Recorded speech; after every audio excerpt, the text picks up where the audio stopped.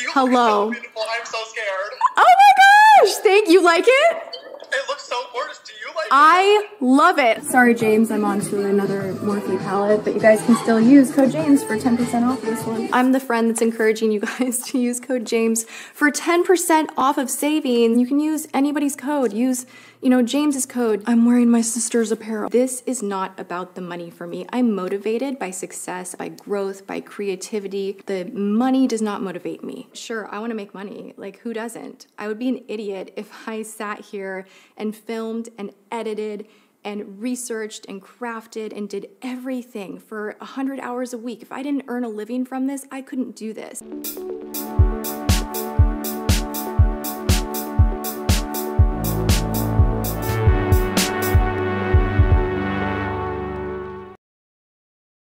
Hi guys, it's Madison Harnish back in my blue kitchen for another crazy video. Although, as you can tell if you saw my Wednesday video, I'm still wearing the exact same thing because it's on the exact same day.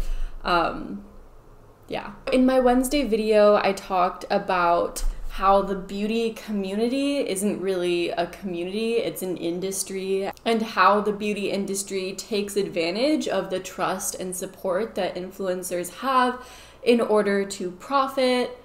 So if you haven't seen that, check it out. But in today's video, I'm gonna be talking about influencer brands. Before we get into the video, if you enjoy deep dives and like to analyze scams and other crazy things going on on the internet, chances are you'll probably like this channel. So don't forget to subscribe and give this video a thumbs up to boost this video. And well, let's get into it. Over the most recent years, influencers and most notably beauty influencers have begun to develop and create their own brands. Now, before we get into the video, I want to have a huge disclaimer. I'm not against all influencer brands, but influencer brands definitely have some major drawbacks and I want to talk about those today. I think the biggest issue I have with influencer brands that I see time and time again is that the influencers continually confuse themselves with the brand. The Shane X Jeffree launch was the biggest launch in e-commerce history of the internet. We're talking it was all of our subscribers, fans, and customers. I've been making videos here on YouTube for seven years. I've done my channel very different. I have denied sponsorships. I haven't done affiliate codes. My big thing with my channel is to earn your trust. And my big goal with my channel is to make people feel beautiful. That trust was just thrown to the side so fast. I would not put a product out there with my name on it if I didn't wholeheartedly believe in it. They blur the line between themselves as an influencer and the brand that they've developed. That shouldn't be a thing at all, in my opinion. Examples of when that happens you see an influencer and they're constantly saying things like, I took so long to work on this. This is the longest I have ever worked on any collaboration in my career, which is crazy, right? You would think like um you collaborate with a brush company and you just made brushes. Like what's the problem? Like why that takes so long? I have actually been working on this collection for over 3 years. That feels like an emotional play where it's like you support me. This is something I took so long to work on, so support me on this as well. We're coming out with this product as if every single one of their audience and subscribers worked to help create this product. Today we are going to reveal everything. We are expanding. We have so many brand new products. We are unveiling the biggest collection. We get to turn it up, do something different. something that always grinded my gears was him saying, You guys, today we got a sponsor. We. I. I'm not sure if my check got lost in the mail or what, because like I don't remember. I don't remember getting the sponsorship cut. You got a sponsor, dude. You got a sponsor. Of course, who starts the company is 100% an aspect of a company. If a really crummy person starts a company or a brand, you shouldn't support that brand. But if a great person with incredible ethics or someone who just inspires a lot of people starts a company, 100% that's an aspect or a reason as to why you should support that company. But it shouldn't be the only reason. And just because you follow an influencer or you connect with them doesn't mean you should ever feel obligated to purchase a product from them or support the brands they develop. It's up to you yourself to decide whether or not you want to buy or purchase a product. Overall, I just really dislike when I feel like influencers use the emotional support people have for them as a way to gain financial support. And there literally could not be a better case of what I'm trying to say than the Shane Dawson Jeffree Star series I'm so stupid.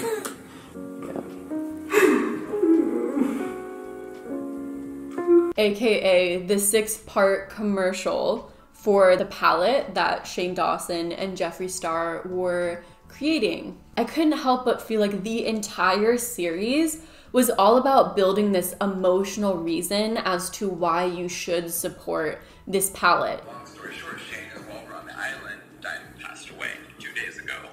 Oh my god. And Oh my god. I just feel like I want to die. Oh my god. I'm like bawling my eyes out on the on the couch, like I can't enjoy another celebration. A lot of it was about Shane Dawson's insecurities. I'm scared that people are gonna like think like, oh, Shane's ugly, Shane's fat, Shane's whatever. I'm so like fat right now. What if they're like, wow, who's Jeffree's like fat friend? That's so cute that he's like hanging out with like that fat girl. I don't think anybody's gonna buy mine. like I know maybe some people will, but I'm afraid. Like, why would anybody buy mine? Look at me. He gets over 10 million views a video. And all of his problems. I'm poor. I am poor.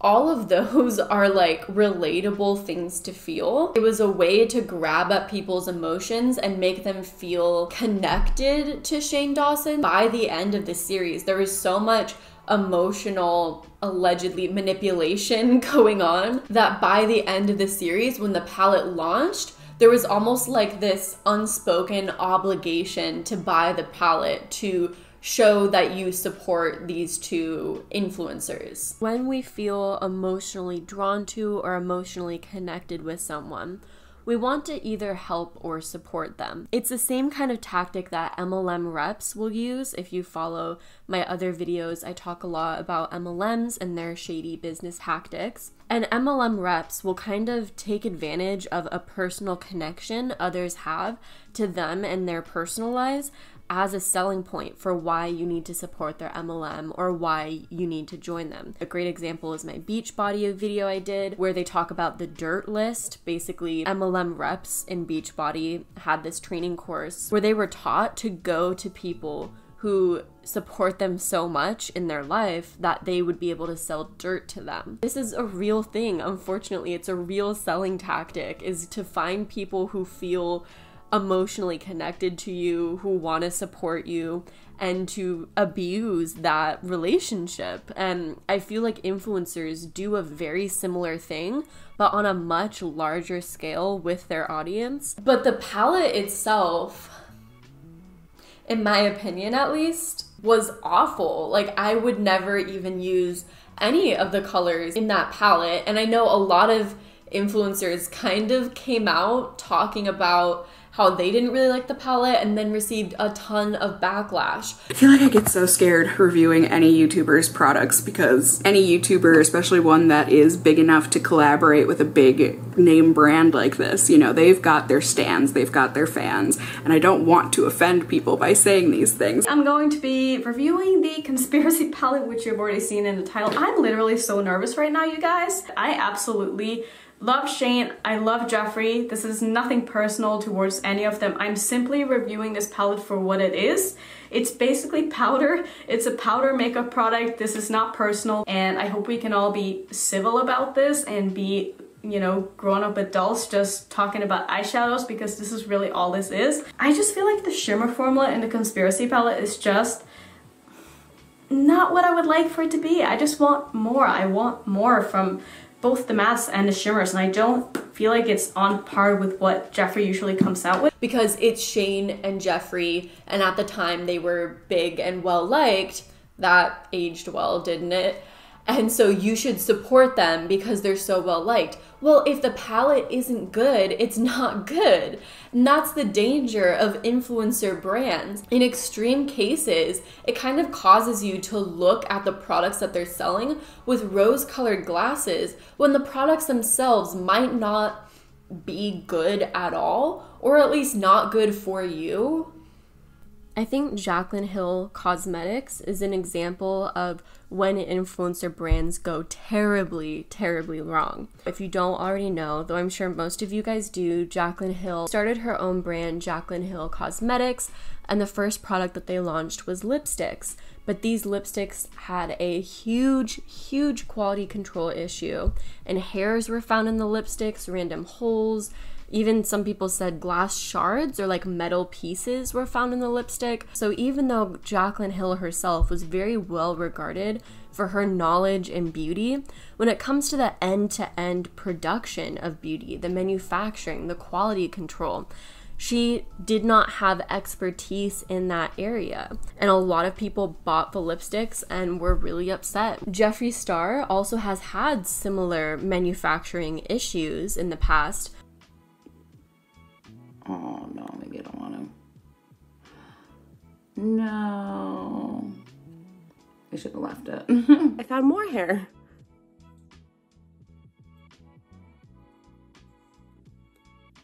See how it's like inside the palette? Yeah, that's not glue. Not at all. So, so before I start this video, I super love Jeffree and Shane. I'm not a hater. I'm so excited about this palette. I just think this is weird and I'm wondering if anyone else's palette is doing this too. Do you guys have weird fibers? Like in your palette? But a lot of the people that pointed out these flaws were kind of hated on low key, maybe, by the fans because they saw them as like attacking Jeffree Star and his brand. Another good example of that is Kylie Cosmetics has had their manufacturing issues too, yet people have still continued to support those launches that have had issues simply because it's Kylie and it's Kylie Cosmetics and it's her brand, and a lot of people felt drawn to support her for some reason. Kylie's Lip Kit is one of the most successful cosmetic lines in history, selling out instantly every time the kit is restocked. So much with that demand for a product, it's surprising to hear that many who bought the glosses were super dissatisfied. Beauty YouTubers started as this source where you could go to to learn about makeup and to find unbiased reviews on products. It was a way to kind of create this space where you could know what to buy, what the best product is, how to use it right. And it was a genuinely great source of help. And there are still some voices in this space who are still that great unbiased source. But influencers have become a brand themselves. Many people watch influencers for their unbiased reviews or because they like them as a person. But when that influencer has a brand, they're kind of able to directly control the message of the brand to the audience. It's like if the Geico Gecko had a YouTube channel. I, I, I don't know why I feel drawn to this example, but it's like if the Geico Gecko had a YouTube channel and the audience felt a genuine connection to, to the Geico Gecko. but the entire time he was just selling insurance to them. I, I, feel like that doesn't make sense at all. But what I'm trying to say is influencers are really the only people out there that are able to build an audience and then directly sell their brand to that audience and directly capitalize off of that. All right, you guys, I'm gonna try and get through this without becoming a bucket of tears because I am super emotional and I have been reading your comments and so many of you are leaving comments saying that you're into it no matter what it is and like that is making me just so happy. Like you guys trust me and that's the biggest thing ever to me. Like I thank you for that so much. This is the Hair, Skin, and Nails Booster and this works. 100%, it is Tati approved. I literally have my name on the top of the lid. Everything A to Z in here is my vision, my dream, my hope for what I wanted in the perfect vitamin. Our competitors don't spend as much on their entire formula and bottle as I am spending on one ingredient. This is magic right here but the kind of magic that isn't just in your head, it actually does work. The reason that I make a big deal about sugar is I really passionately believe that sugar has no business being in any beauty vitamins or any vitamins in general. Sugar really raises your inflammation, it's damaging. You know, if you want sugar, because sugar's delicious. Just have a piece of cake and enjoy it, but don't make it a daily thing with your vitamins. I feel it's unnecessary. Other brands are fighting to get into influencer content. They're fighting to get onto YouTube videos. They're fighting to get into TV shows and movies, and they're fighting their way just for a small space. Meanwhile, influencers have an entire audience and they can spend as much time as they want controlling the conversation of their brand and what image they want their brand to have. It's a lot of power that many other brands don't have. And of course, people that are aware of marketing and how it works might be able to tell that this person's biased when they're talking about their brand. But I worry about younger people who might not know that they're being marketed to or they're being sold to, who might trust this influencer and want to support them maybe even and so they're easily influenced into buying products and being sold to by said influencer. Another thing that I've noticed, I'm not sure if anyone else has noticed this, let me know if you have, but something that concerns me quite a bit is the loyalty influencers have to other influencers and each other's brands and collabs. Hello. I'm so scared. Oh my gosh! Thank you. Like it? It looks so gorgeous. Do you like I love it. Sorry, James, I'm on to another Morphe palette, but you guys can still use code James for 10% off this one. I'm the friend that's encouraging you guys to use code James for 10% off of saving. You can use anybody's code. Use, you know, James's code. I'm wearing my sister's apparel. I have to wear the. Okay, I forgot to say too. Hello. I'm going to a really important event later on tonight. my best no, friend. we are going to Yes, this is true. And this is a very important launch to me because it is my best friend Tati. She's launching something new on Halo Beauty. Super proud of her. By the time this video is out, it'll already be up. So go check it out. Promo for Tati. Love you the most. Who doesn't need a little beauty boost every now and then? Two of the following statements are real claims made by the original Halo Beauty Booster supplement. Oh! Which are the real ones? Can I just say I love you guys for putting a Halo question in there. I, We Mm, originally I love you for that. I just received my package from Halo Beauty. This is Tati's brand new brand. Um, I did not tell Tati that I was buying these, but I did pay for these myself because I just wanted to support her, and I'm so happy. It almost feels like an unspoken positive review to positive review thing. And it feels like a pyramid scheme to me. It genuinely kind of feels like a pyramid scheme. All the top influencers are reviewing each other's products and giving positive reviews, recommending to each other's audiences to buy one another's products.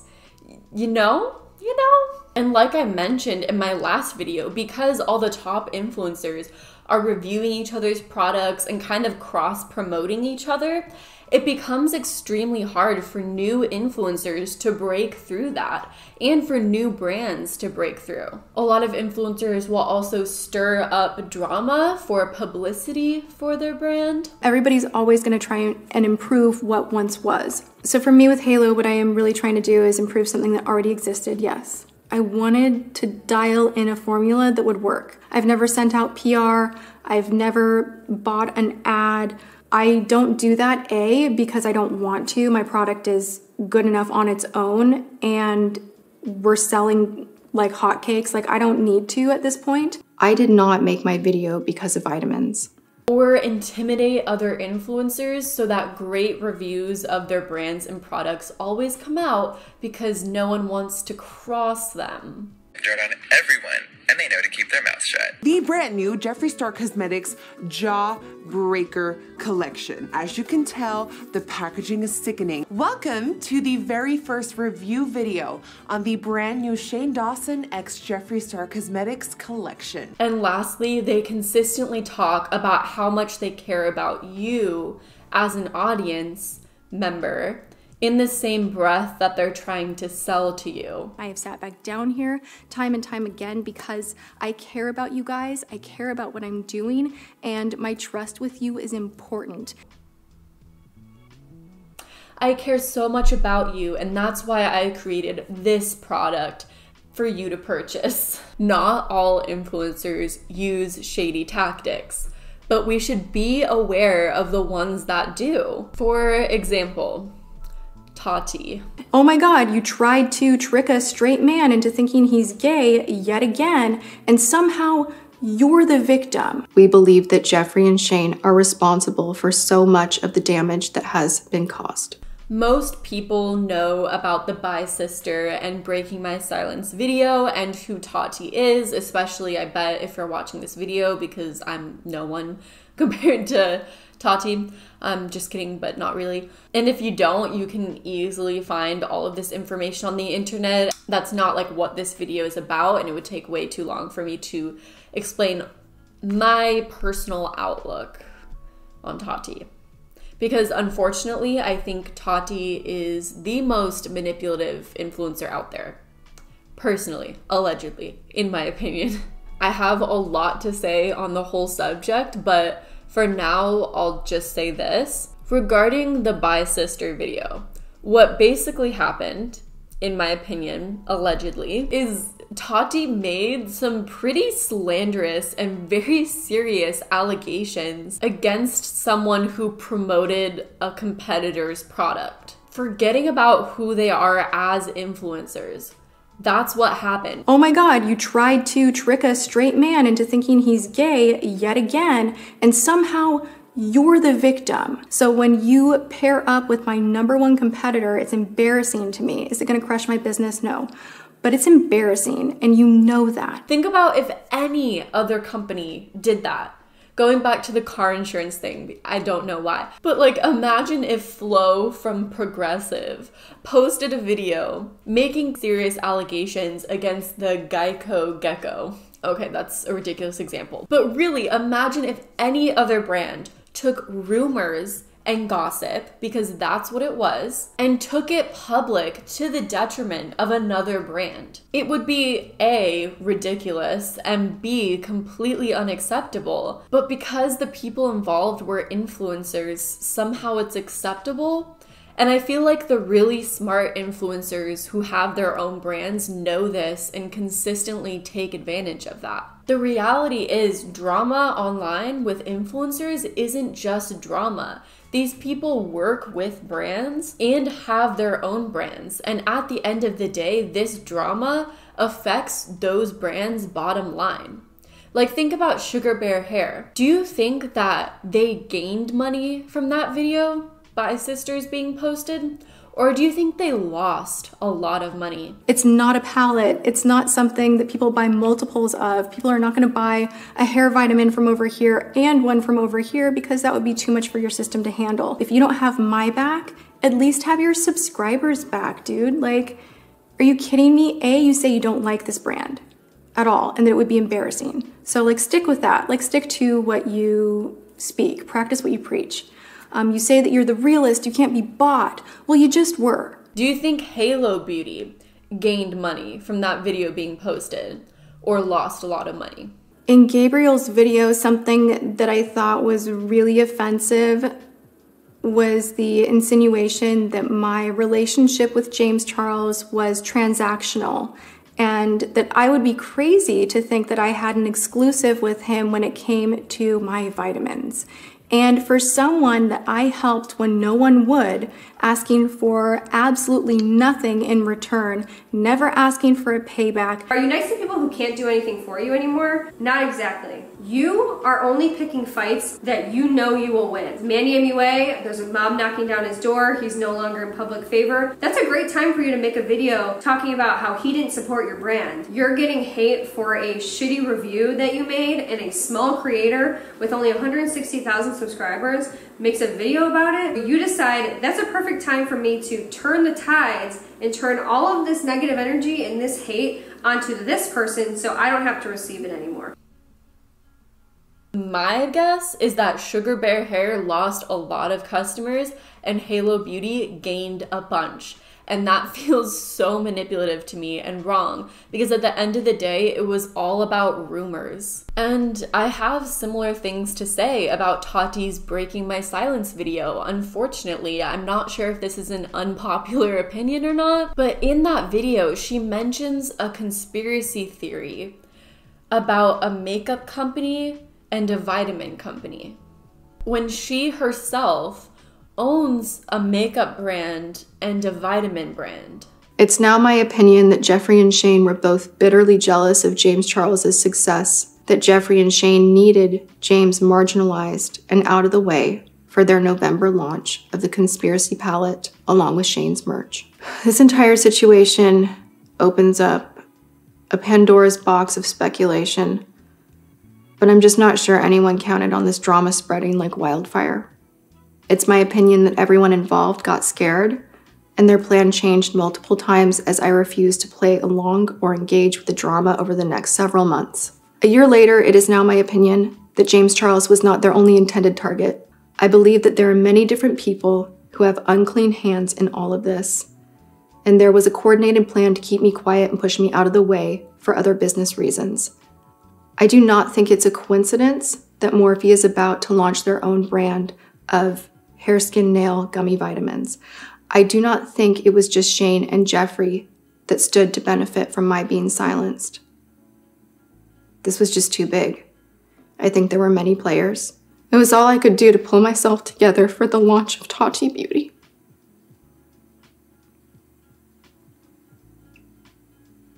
That night helped me so much to everyone that came. And I'm just so grateful to my subscribers that showed up for me. Does anyone else not see how wrong that is? To talk about publicly a conspiracy theory you have against two companies when you are the direct competitor of those two companies and gain the most from those two companies' downfall. Like, that's a huge conflict of interest. And if you genuinely believe in that conspiracy theory and you think it's true, take legal action. But to take it public and quite honestly mess with those competitors' business by doing so, it's a total abuse of your power as an influencer. And it's the same thing when Jeffree Star talks bad about other makeup brand owners using his influence to take down other brands, which has happened countless of times. Countless. Someone named Jerrod used to be the owner of Too Faced. He sold his brand to Estee Lauder, said that my brand was uh, clown makeup. Okay. Um, now, Estee Lauder had to ask them to shut the up. It just sucks that people that are literally almost twice my age are degrading me. So there's the tea on that.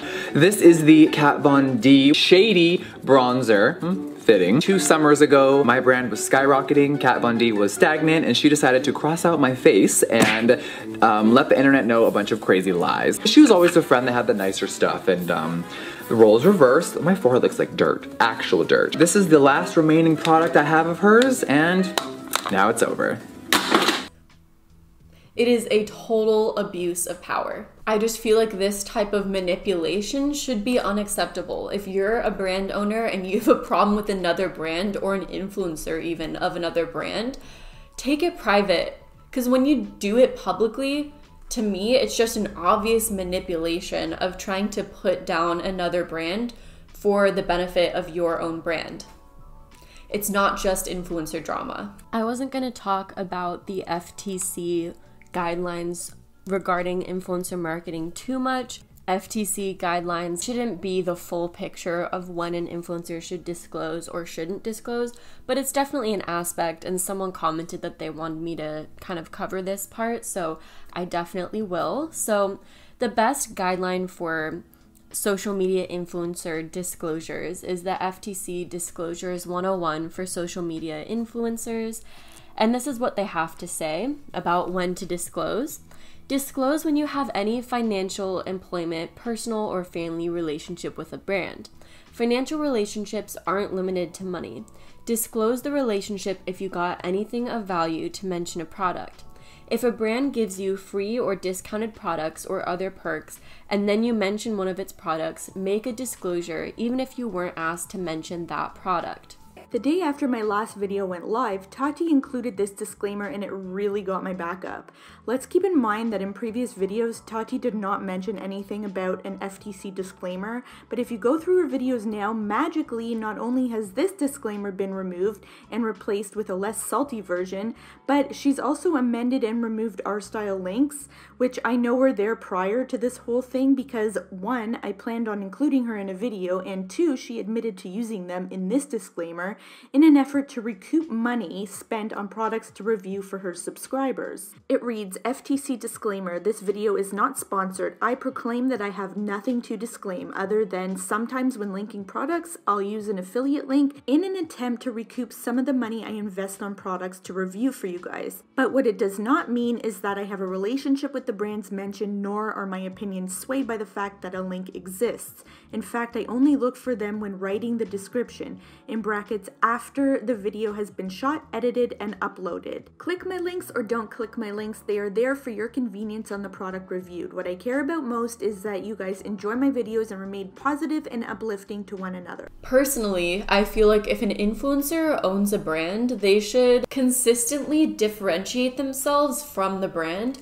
making it clear that them and their brand are not one in the same. Of course, influencers can talk about the hard work they put into making something, but it shouldn't be used as a selling point for their product. We buy products because they're good, not just because someone worked hard on them, you know? And influencers should always make it clear that you do not have to buy a product from them in order to be a supporter of them. I just had to say this and put it out there because I'm becoming more and more concerned with the manipulation tactics that I'm seeing lately with influencer brands and wanted to just make a video collectively about it and put it out there. I'd love to know what influencer brands you love and why, because once again, not all influencer brands are bad. I think influencer brands collectively are a very good thing and can really change up a lot of industries in a great way. But influencers themselves have a lot of power and should use that responsibly